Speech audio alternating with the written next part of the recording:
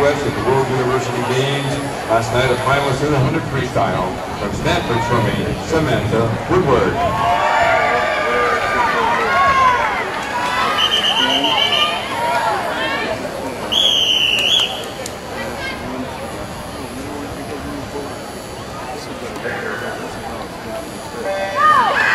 Championship finals in the water.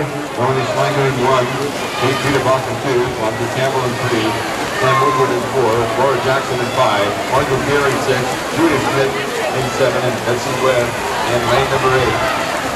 Very distinguished field of 50 freestylers, some of the best quality swimmers in the world. And the leader appears to be lane number three and lane number five as they come over the wall. And Monty Campbell the age group from Australia at 25-22, finishing up in first for her second championship of the meet.